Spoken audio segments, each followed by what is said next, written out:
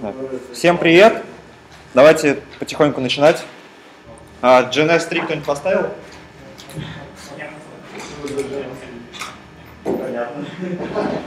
Я встал. Хочешь делать практику, надо поставить GNS 3. так показать вам сегодня? Встал.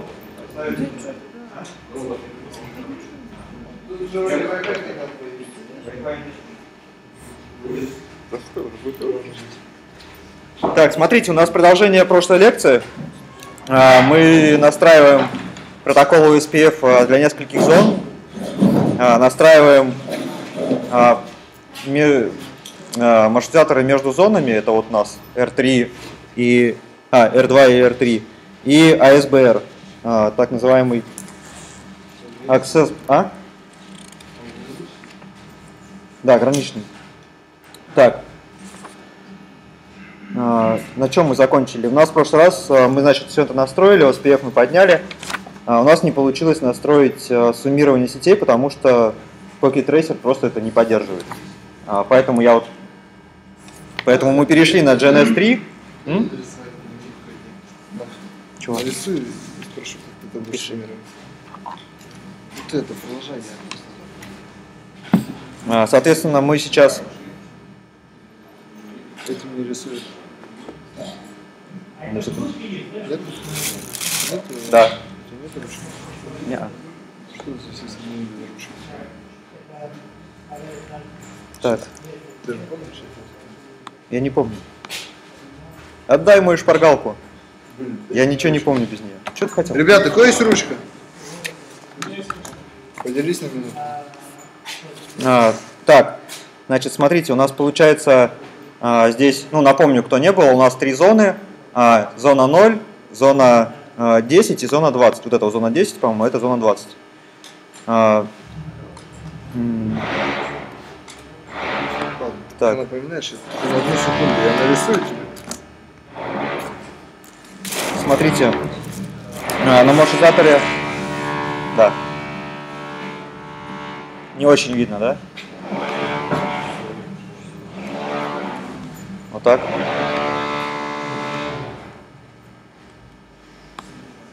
А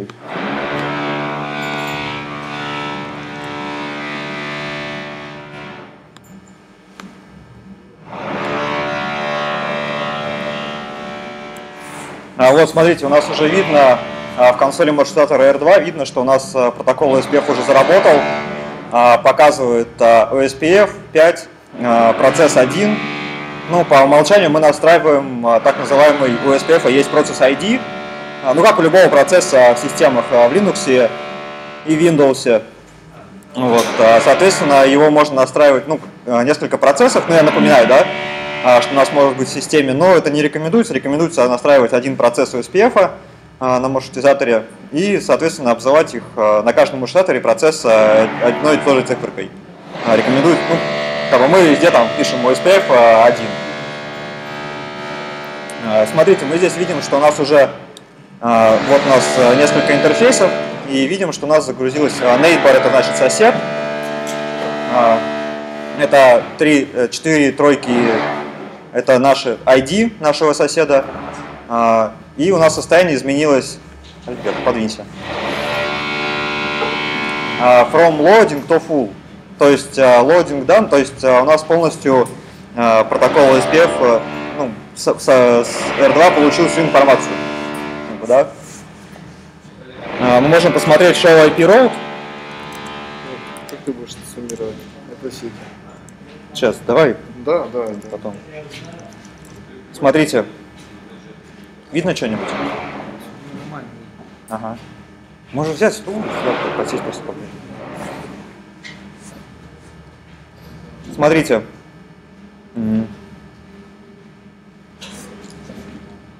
Так, 172.30. А,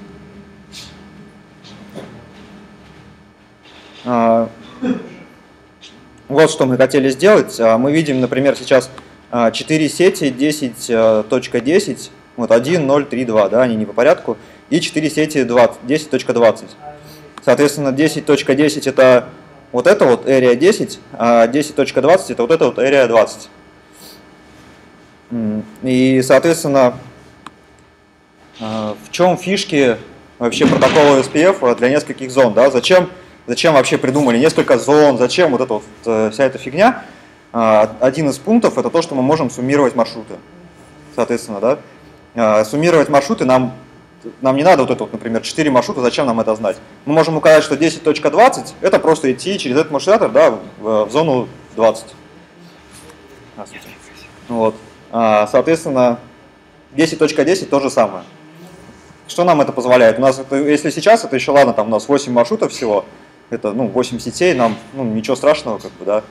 А если их будет там 100 тысяч там, и больше, мы просто разбиваем на небольшие зоны, Соответственно, у нас уменьшается таблица маршрутизации, а, уменьшается нагрузка на процессор, на обработку, скорость повышается и более выгодно нам все становится. Соответственно, сейчас мы попробуем а, просуммировать эти сети. Идем conf-t. Так, OSPF. Сейчас. Надо шпаргалку посмотреть.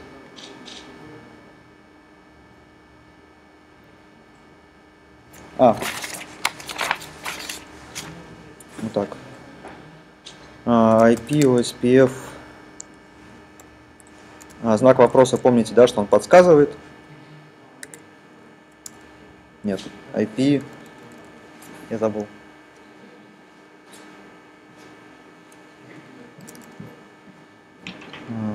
А, роутер. Роутер, OSPF. А, вот он подсказывает процесс ID. Процесс ID у нас единичка везде, чтобы нам не забыть, на всех маршрутизаторах одинаковое. Да? И что нам надо, чтобы просуммировать R2? Маршрутизатор R2, он находится вот здесь. Вот это вот этот маршрутизатор. Соответственно, сеть а, сети 10.10 это заходится за маршрутизатором R5. Ну, как бы вот, вот здесь они, да? Вот. И мы сейчас хотим их а, маршрути... просуммировать а, ну, чтобы, например, маршрутатору R1 и чтобы вот в эту вот Area 0 у нас не отдавались 4 сети 10.10, да, 10.10 там, ну и так далее. А была просто одна сеть, да, и мы говорили, что ходить в эту сеть э, просто через роутер R2. Это делается очень легко. Пишем Area 10, э, range 10 10, 0, 0. И маска здесь обычная указывается. Все, просуммировали.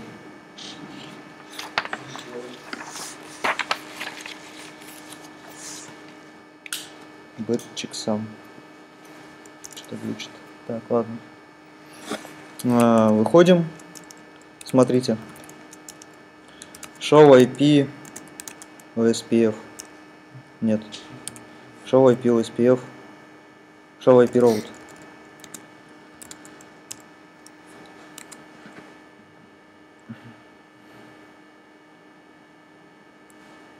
Так. Да, смотри, смотри, нет, здесь мы видим что, да, ты прав. А, здесь мы видим 10-10, они такие же остались, да, вот видите, они а, никуда не делись. Но а, просто дело же в том, то, что маршрутизатор R2, он непосредственно подключен к этим сетям. Как бы он, должен, он должен знать о них, об этих сетях, да, потому что ну, мы на прошлых занятиях говорили, что э, сети, которые находятся в одной зоне, они должны быть известны маршрутатору R2. Как бы он должен знать об, э, об их состоянии и что там в этих сетях творится. Соответственно, э, мы, он должен знать ну, вот эти полностью, как бы, да. А, смотрите, у нас появился еще один маршрут, 10.10.00/16, а, и он пересылает наши пакетики в нуль. Ну, то есть, ну, кто, кто знает, что такое no, 0? Предположите. Ну, как в Linux null, да, просто никуда. А для чего это сделано? Этот пакетик, этот а, маршрут у нас появился а, после того, как мы просуммировали и нужен а, для того, чтобы наши те, те пакеты, которые мы не знаем IP-адреса, чтобы они отбрасывались, чтобы они не уходили в интернет. Просто смотрите, у нас а, бывает так вот, что у нас может быть, смотрите как, Я сейчас нарисую. А, у, R, у R2 вот здесь вот может быть интернет. Да, и он там как-то сюда подключен. Ну, примерно это облачко такое, типа там. Вот. А, соответственно, в интернет у нас что? У нас указывается default route, и о том, что мы, э, о тех пакетах, которые мы ничего не знаем, да, они идут по дефолту сразу в интернет. Вот. А, что нам позволяет настроить, что нам позволяет вот этот вот, а, где он? Ну-то, я не видим его. Ниже. Да что ж ты за раз такая? Вот он. А, например, у нас может быть адрес 10.10.68 там 1. А, соответственно, мы, мы смотрим а, маршрутизатор R2 а, рассылает OSPF пакеты и говорит, что на сети 10.10, как мы здесь написали, да, 10.10 16, ну, дробь 16, да, отвечает R2. Ему присылают такой пакет с таким IP-адресом. Он начинает просматривать свою таблицу маршрутации, он понимает, что у него нету просто такого. У него нету 68/1. Соответственно, если бы вот этого null не было, он бы отправил его напрямую в интернет. Но этого делать нельзя, ну потому что маршрут по, по умолчанию, да, что у нас есть. Этого делать нельзя, потому что 10.10 это э, внутренние адреса. Их нельзя отправлять в интернет. И для этого у нас сделан вот этот вот, ну, это типа, ну, можно обозвать ловушкой, да, э, которая... А? Да, он появляется после того, как мы включаем суммирование этих сетей. А у нас появилась, э, получилась эта ловушка, соответственно, этот вот адрес 10.10.68.1, э, он не уйдет в интернет, а просто зефнул, и все, он отбросится. Ничего страшного не произойдет. Но сразу же возникает вопрос, да, а как же так, как получится, например, если у нас, а, если у нас будет нормальный пакет, там 10.10.1.1, к примеру, да, а, ну не 1.1, ну да, там 1, да пофиг, 1.8, да. Если у нас есть вот такой вот 00/16, как же он дойдет э, до адресации, ну, до пункта назначения. Соответственно, мы просто вспоминаем, что у нас одно из правил э, маршрутизации гласит о том, что а, маршрут, который более, как он, более определенный маршрут с более определенной маской, более приоритетный. Соответственно, у нас есть два маршрута со слэш 16 и слэш 32. Какой из них будет приоритетнее? 32, правильно, потому что маска более определенная. Соответственно, мы просто смотрим, ага, у нас есть слэш 16, есть слэш 32, значит мы отправляем по слэш 32. Правильно? И пакетики, которые должны уйти туда, они идут в эту сеть.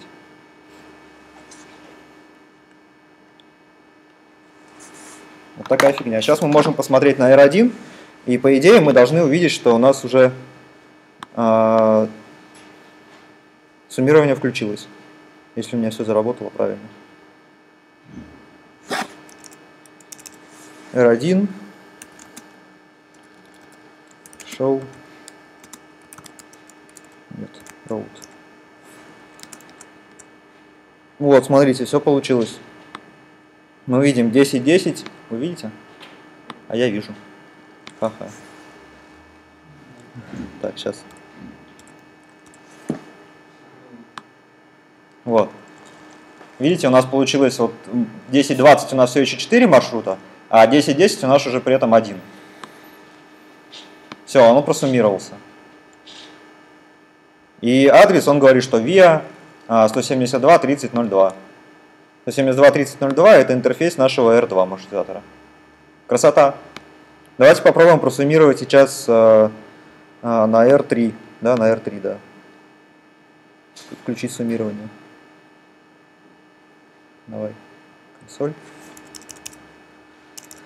А, conf t. IP, OSPF. Что там? А, road. Просто road. OSPF 1. Да, и включаем суммирование. Как мы его включаем? Я уже забыл. Area, что-то там. Нет, здесь будет Area 20 у нас. Area 20, 20, потому что у нас э, зона 20 вот здесь вот находится. Вот, вот это вот, это зона 20. Соответственно, мы конфигурим R3. Ну, в общем, здесь R3, поверьте мне. area 20. Соответственно, там у нас сети 20, 10.20, да?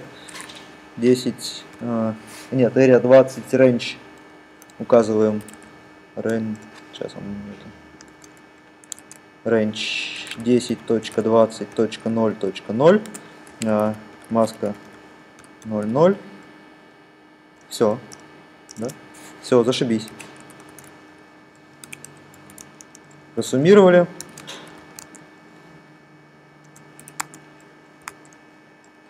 Show IP road. А, смотрите, мы здесь видим 10 10 у нас тоже уже просуммировались. Да? А, видим? Сейчас. Сейчас вы тоже увидите. Вот так. Я что? И А? А это значит... А, мы сейчас посмотрим, мне где-то было написано. Я? Нет, не то. Нет, нет, нет. Ты видишь? Нет. Нет, там Я большими буквами. OSPF Inter Area. Вот он, я вот эти большие буквы. Это значит, что через, он получается, смотрите, R3, а, через зону а, меж, как межзонная получается, да, взяться у нас, что R3, вот эти вот 10-10, они же находятся вот здесь вот, после R5. Ну, ну, если вы помните, там на R5 мы настраивали loopback интерфейсы, которые как раз у нас 10-10 и есть. Получается, вот этой сети, они проходят через зону 0, через зону 10, и вот сюда уходит за R5. Соответственно, поэтому у нас и интерерия. Так, на R3 включили, идем на R2, а, на R1. А, смотрите, у меня тут сохранилось с прошлого раза. Да, да, не, смотри, просто 10, 10, 20 еще, сколько, 4 штуки этих двадцаток, да, 10, 20. О, пожалуйста. 10, 10, 10, 20. Один маршрутик остался всего лишь, да? Ну, в смысле, у нас было 4 раза по 20, да? Вот здесь вот. А остался просто 10.20.00. Также через 772 30.03. 03 это третий, это интерфейс третьего маршрутатора нашего. Все. Красота. М? Что ну, Что? Ну, то, что ловушка сама, да, ставится сразу? Да. А, кстати, да, давай посмотрим. Она сама должна настраиваться. Да, 0-0.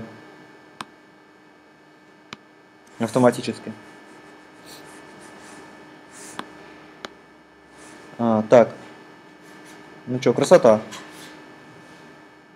Добились того, чего хотели. А, так, что у меня там дальше?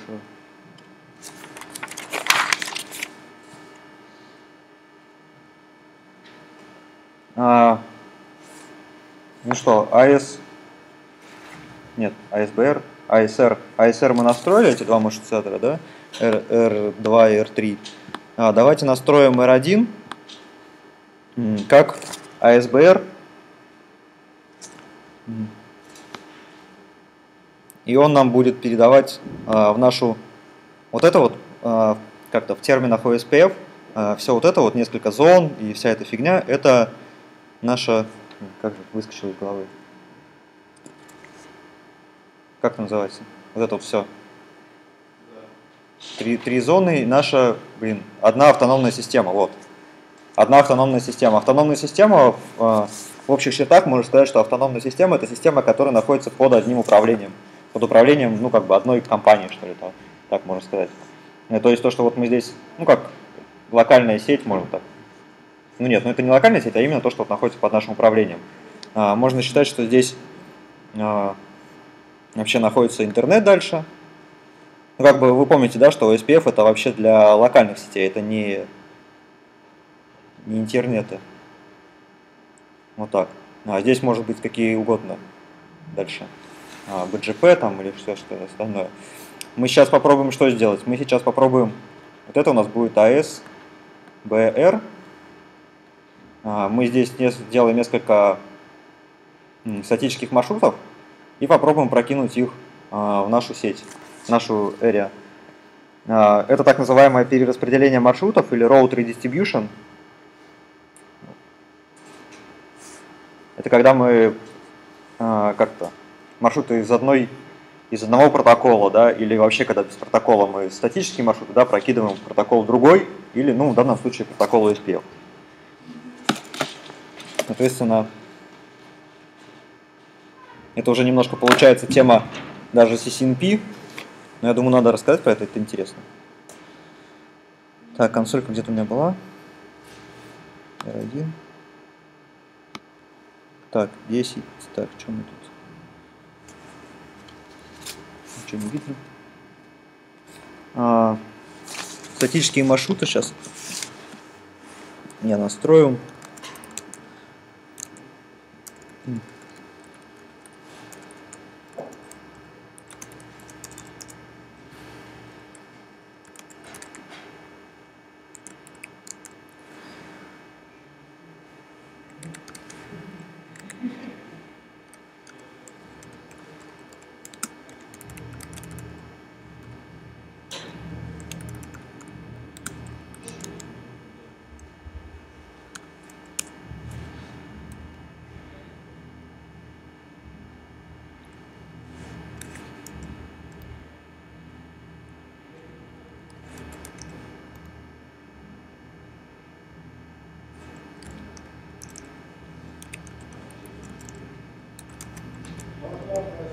Да.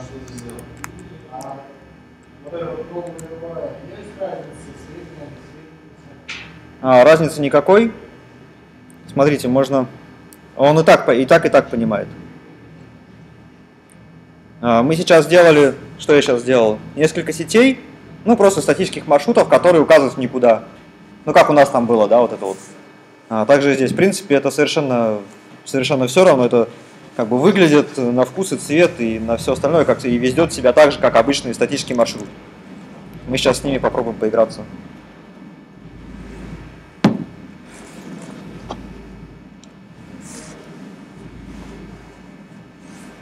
А, идем, как обычно, conf t,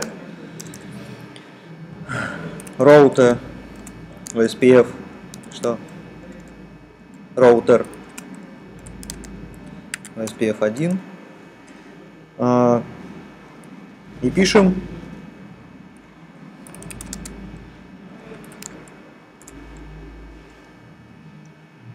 Нет. А, смотрите redistribute. Что мы хотим а, ну как прокидывать да? BGP, connected, и видите, целая куча здесь всего. У нас статика, статические маршруты. Мы хотим нашу статику э, прокидывать э, вовнутрь. Э, subnets, э, метрика. Э, он предлагает нам метрику указать, вот видите, э, какую-то дефолтовую метрику для протокола SPF. Ну, например, 100.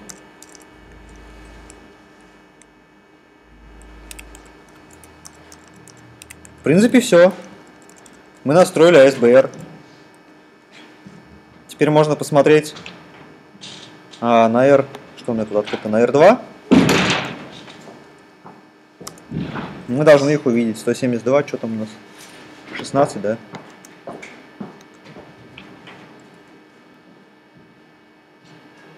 Вот они, пожалуйста. Статические маршруты, которые были подключены. Видно, да? 16.1.0, вот они. А, которые были к первому роутеру, 30.01. Uh, у них O это значит OSPF, uh, E2 это значит что это? External Type 2. Type 2 это я, если я не записал, то я не помню.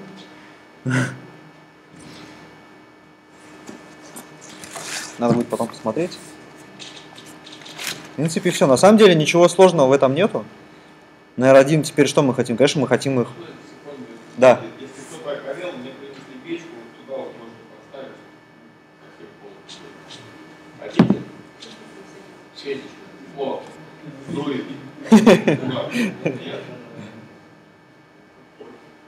Пока вроде не очень оказали. Конечно, мы хотим их просуммировать. Ради чего у нас все это задумывалось. Conf T, мы помним route, R, OSPF 1.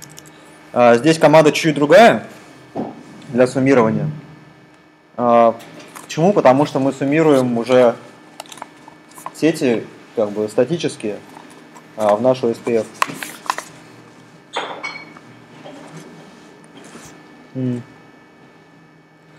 Summary адрес 82 16 0 0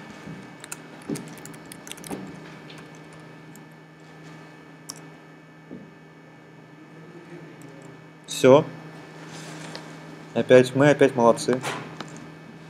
Но мало того, что настроили ASBR, так мы еще и просуммировали маршруты. Смотрите-ка.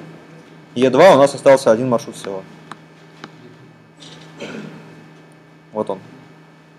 Зашибись.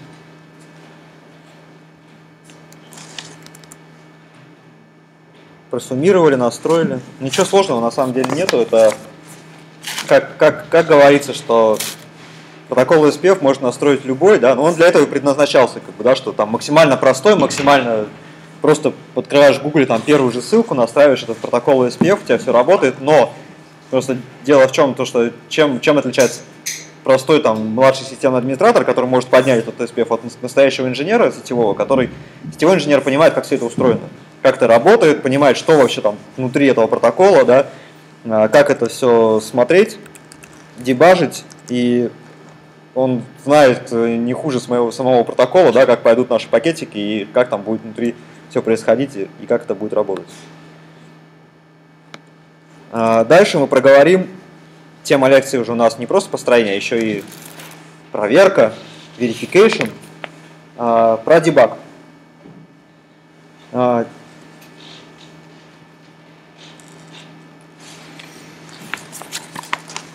Дебаг, дебаг. Смотрите. Ну, для дебага и для проверки у нас так и есть команда, так и называется дебаг. Все, все логично, да, и просто на самом деле. А, идем на R4, я сейчас вам здесь покажу на его примере. А, так, сейчас. R4. Чуть повыше подниму, чтобы получше было видно. А, может быть еще. Так, о. А. Смотрите. А, дебаг, дебаг. Сначала включим просто дебаг. Дебаг. IP, ну, IP, IP, OSPF. А, в Argent. В принципе, это, это не сокращение, это так и называется. Это, ну, как бы это полностью команда. Adjacency Events.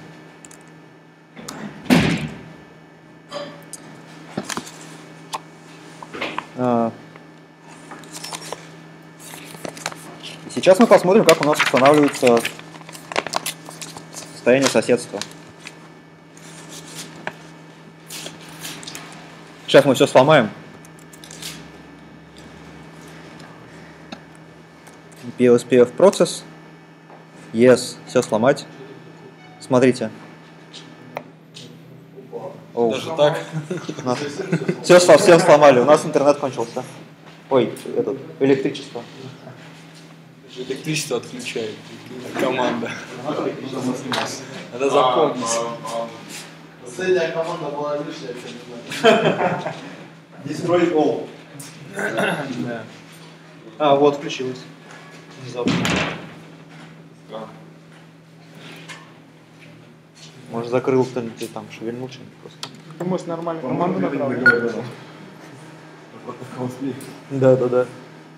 Он настолько мощный, что может вырубить электричество даже. начинаем. Сейчас мы, сейчас. Перезагрузить проект.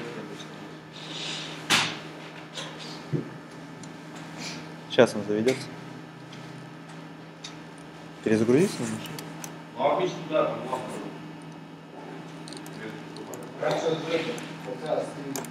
Давай перезагрузим. Нормально.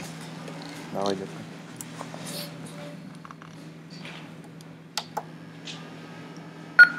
О.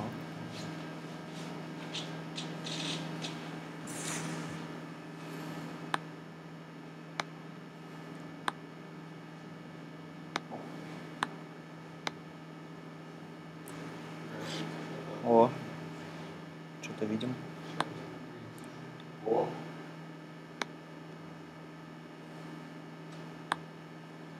Немножко повыше. Так. Вот целая куча у нас здесь дебагов насыпалась. А, что мы здесь видим? Да, вот начнем с самого верха. Ну, у нас все в даун, в даун, даун уходит. Ну, fast Ethernet down. все у нас в дауне.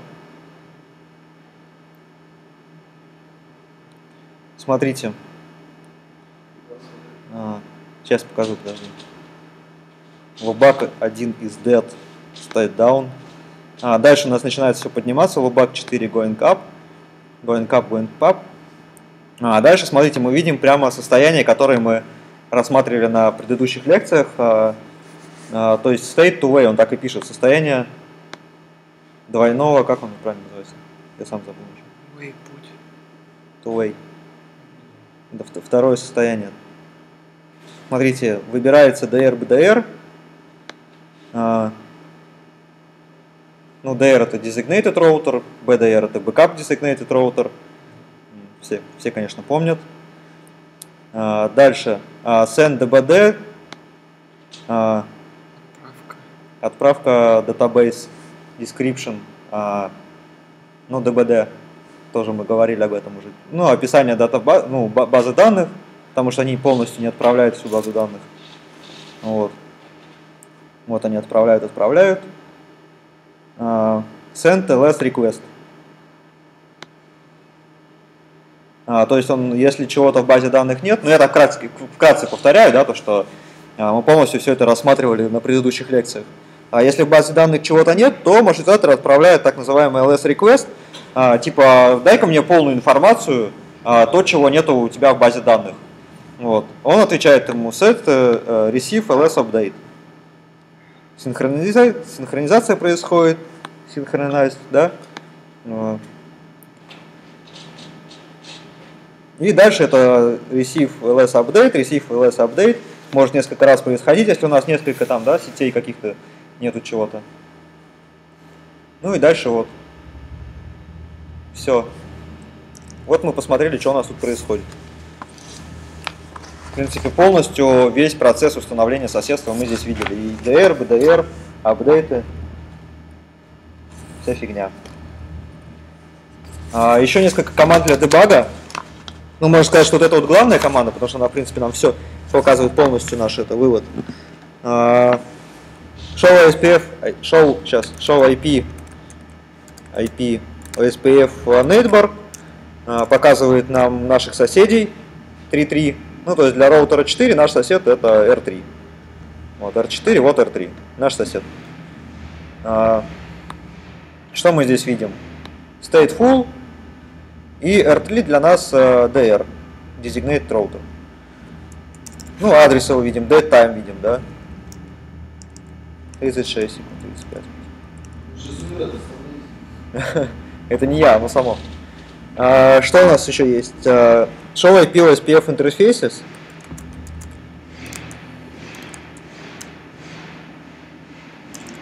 А, Показывает нам полностью интерфейсы, на которых у нас поднят а, наш OSPF. А, Что нам здесь интересно? Здесь интересно, например, ну вот, Fast Ethernet 0.0 и ZAP.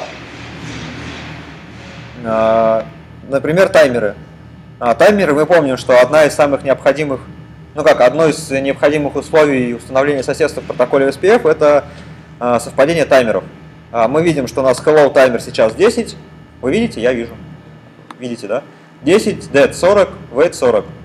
А, давайте попробуем это сломать. Ухаха. А, то есть мы должны увидеть, а, если мы изменим, например, сейчас таймеры, мы должны увидеть, что у нас состояние соседства не будет устанавливаться просто. И OSPF у нас не будет работать. Да, да, мы сейчас даже увидим, как у них будет р- разрываться соединения соседские. А, идем t. Ну, conf. t. Так. М.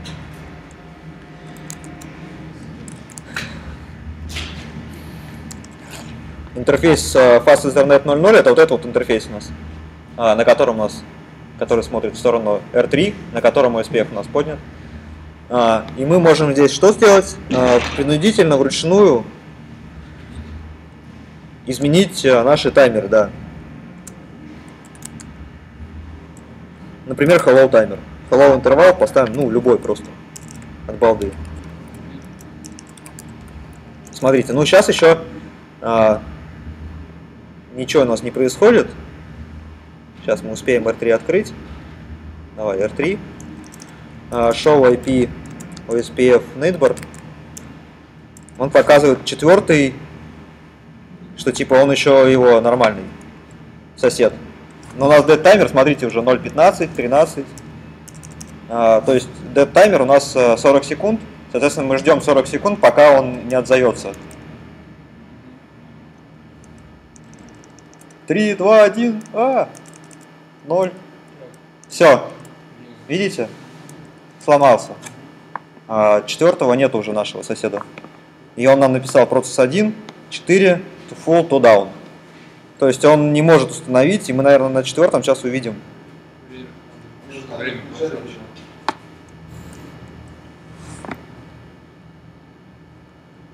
Вот, у нас здесь полностью дебаг включен, да? Что мы видим? Он должен... Нет, мы не видим. Ну, понятно, что он говорит, что у нас все упало. Neighbor down.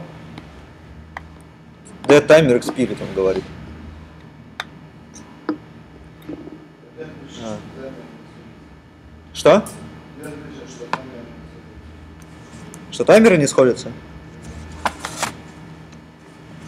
А, мы должны, потому что, вот, точно, я забыл включить, э, это не полный ивент, ну, не полный дебаг, можно еще больше включить дебаг. А, дебаг, давай, дебаг, EPL, SPF, events. Вот. Он каждые 5 секунд, мы же поставили hello таймер а, в 5 секунд. Ну вот, вот. Вот, видишь, mismatch hello параметр. Uh, from 23, он говорит, что hello, dead R у нас 40, а здесь R10, а здесь C20, э, здесь C5, я не помню, как, как они расшифровываются. А, таймер не совпадает, вот он прям пишет. Делаем нормально, да, идем на интерфейс uh, Fast Ethernet 0.0. Да, в принципе, все понятно, дебаг включили, понятно, что где у нас нет. Да, да, да, да, что, да, что не совпадает, и именно эти наши таймеры.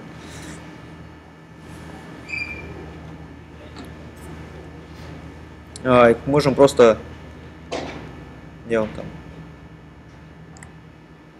Вот так. Новый IP SPF.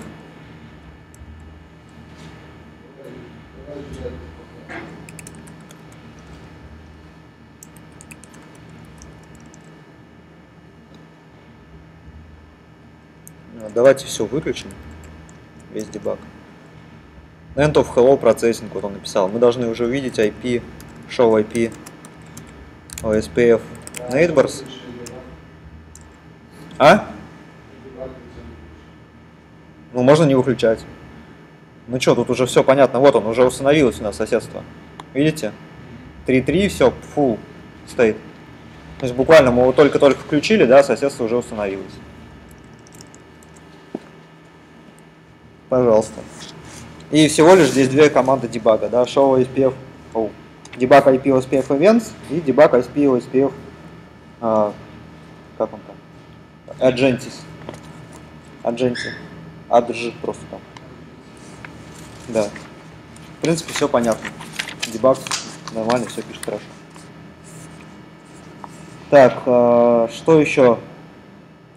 Э, про аутентификацию аутентификация. Мы помним, что у нас э, протокол OSPF поддерживает три типа аутентификации. Но это тоже уже немножко за рамками CCNA, но я думаю, тоже надо рассказать. Э, три типа. Э, без аутентификации, аутентификация с открытым паролем, ну то есть plain text вообще, да, и MD5, MD5 хэш. Соответственно, для чего используется? Используется, ну, это один из параметров, который должен совпадать у всех маршрутизаторов, находящихся в одной зоне. Соответственно, если пароли не совпадают, ну понятно, да, там, если у нас не совпадают пароли, а, состояние соседства не устанавливается. Если у нас не совпадает тип аутентификации, состояние соседства тоже не устанавливается. А, давайте попробуем поиграться и настроить а, простую аутентификацию, например.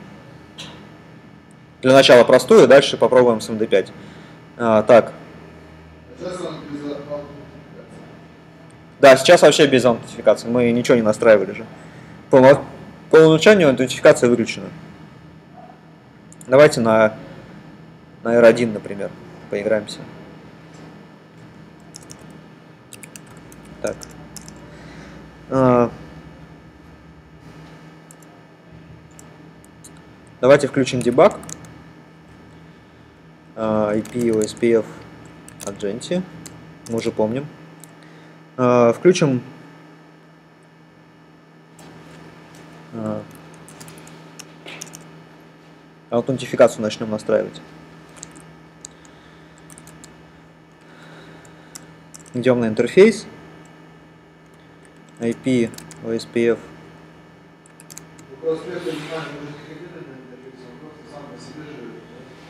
Да. Нет, мы сети указываем, и интерфейсы мы указываем, на какие нам э, рассылать пакетики.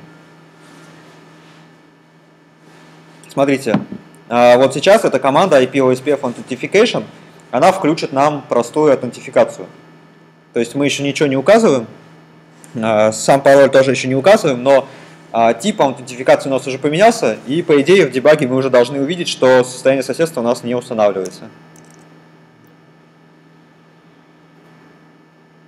Давай, ругнись. О. Mismatch Authentication Type. Видите, сразу, сразу посыпались сообщения. В принципе, все, все сразу понятно. Uh, type 1. Вот у нас есть несколько типов. Да? Type 0 это если вообще без аутентификации. Uh, type 1 это он говорит we use Type 1 это значит, что с открытым текстом, uh, plain text. А Type 2 это MD5 хэш. Соответственно, давайте мы только сейчас включили а, указали тип аутентификации, да, а, давайте укажем а, пароль. IP OSPF Authentication Key, например, Cisco.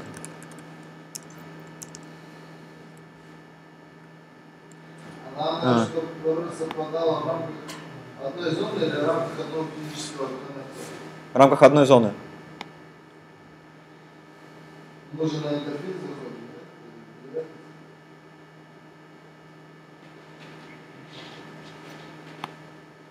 Нет, мы можем, смотрите, да, здесь э, есть еще второй способ настройки. Я сейчас показываю, как на интерфейсе настраиваем. Ну, можно на всю зону указывать. В принципе, но по факту эффект будет один и тот же. Как бы, да? То есть мы по факту можем между, между двумя ротами поставить, да? Нет, в, одной, в пределах одной зоны у всех трех должно быть э, э, один и тот же пароль. Они не смогут, они просто в пределах одной зоны все должны же между собой установить состояние соседства одно из условий это одинаковый пароль. А там просто чуть по-другому эта настройка происходит. А, смотрите, на этом мы видим, что у нас процесс ID, neighbor 1.1, а, fast Ethernet э, изменил состояние с full to down. Просто потому, что у нас dead таймер прошел, dead таймер expired.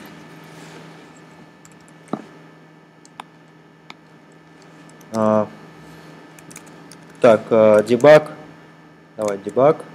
IP OSPF Agenti. Уже все помнят, да, команду? Ага. Вот, смотрите, начал то же самое, ругается mismatch authentication type. А, идем conft, интерфейс pass ethernet 0.0 у нас там, по-моему, да? Сейчас смотрю, какой он там. По-моему, 0.0. Давайте я сейчас. А, 1.0 у меня здесь интерфейс. R2. 1.0. Ща. Ой. Да что ж ты зараза такая. Вот так. Получше. А, То же самое включаем IP OSPF Authentication. Смотрите. Что? Authentication type? Нет, я ука... Вот. А, mismatch Authentication key. Сообщения уже другие посыпались. Правильно, что type у нас уже один и тот же. Мы указали, что у нас type это plain text. Но при этом ключ мы не указали. А, ну вот он говорит clear text. А, ключ еще не указали. И он нам уже говорит, что уже не type, а key не сходится. Да? Ну тоже все логично и прозрачно, все понятно сразу. IP Authentication key. Cisco у нас там был, по-моему. Все. Это между какими роутерами настраивал? 1, 2. R1 и R2. То есть сейчас R3 Да, видите, а, 30.03 все еще ругается, что mismatch identification type. По идее, если мы сейчас посмотрим, давай, road, второго соседа не было. 10.20 мы не видим сетей. 10.20 у нас находится за R3, вот это вот R3, вот здесь вот у нас 10.20 сети. А R3, он не наш сосед, соответственно, 10.20 мы не видим сети. Все логично. Но я думаю, не будем его настраивать. Давайте посмотрим, как а, настраивать MD5. В принципе, тоже довольно прозрачно все и ничего такого особенного. Начнем с R2. Идем, как обычно, conf-t. Интерфейс Fast Ethernet э, 1.0. М.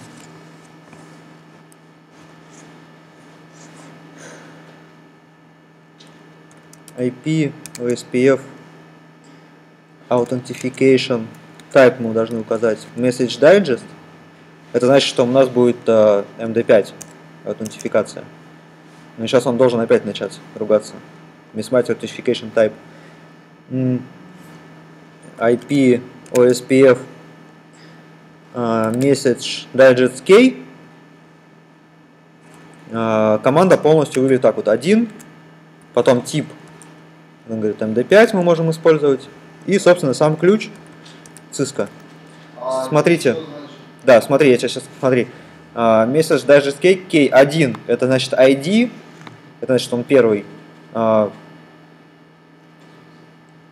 а, ID 1, у нас может быть несколько, вот в чем прикол с MD5, у нас может быть несколько таких ключей. А, Я сейчас покажу. И, соответственно, это очень удобно, а, если мы хотим поменять такой ключ MD5, мы можем указывать с несколькими ID, несколько ID-шников, и этот роутер, если у него указано несколько ID-шников, он будет э, подписывать свои пакетики сразу двумя ключами. Соответственно, мы можем плавно перейти, э, плавно поменять э, ключи на всех маршрутизаторах, да, не разрывая состояние соседства.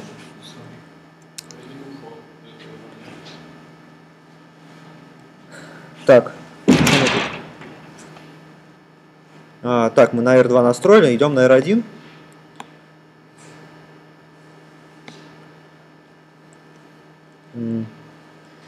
IP OSPF. а, Authentication Message Digest. Давай.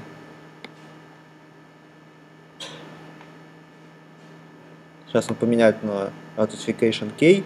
Где-то должен, да? Да. Смотри, с одним у нас type, а с другим key. Да, мы видим. Ну вот, 0.2 здесь key указан, 0.3 это type. Здесь. Вот так. А, так, сейчас мы указали, что мы используем MD5, соответственно, мы сейчас его включим. IP OSPF а, Message Digest Key ID 1 MD5 а, пароль Cisco.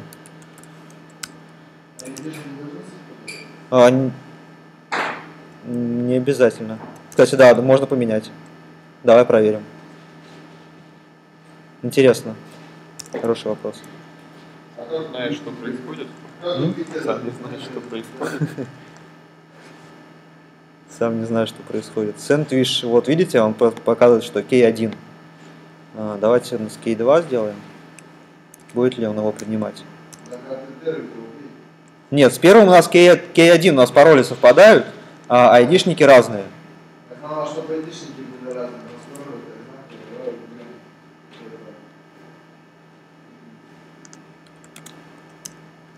Убили. K1. Так, это 0.3, а, 0.2. Mismatch аутентифик- А, подожди, сейчас он, подожди, что он скажет. Сэндвич K2. Не. Видишь, айдишники разные.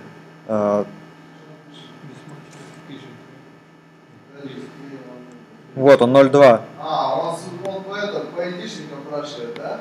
Да, походу, айдишники. тоже должны совпадать, не только ключи. Смотрите, у нас когда было два айдишника здесь, он э, э, рассылал, подписывал сразу двумя. Смотри.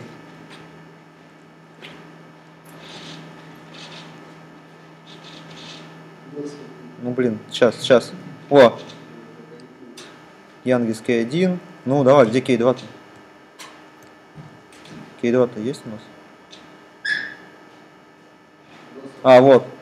Нет. Я все сломал. K2 already exist. Ну давай.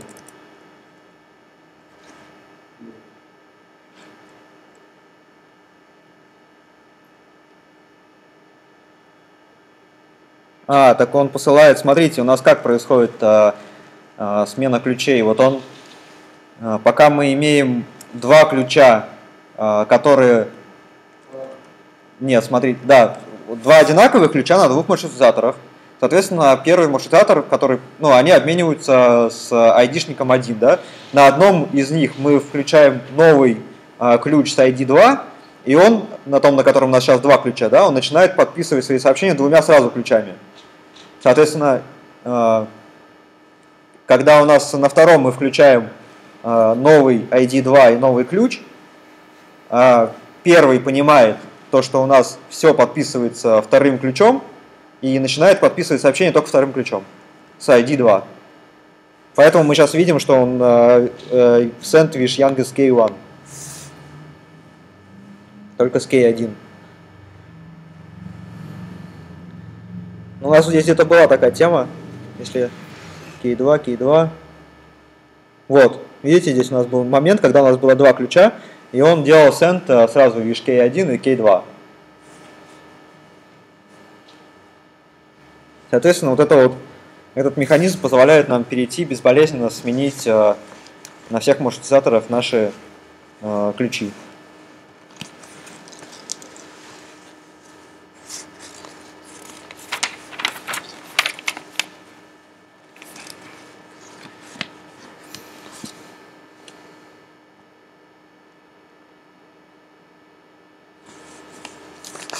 Ну, как-то так.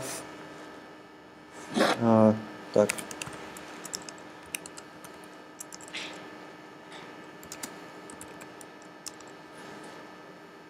Выключим весь дебаг.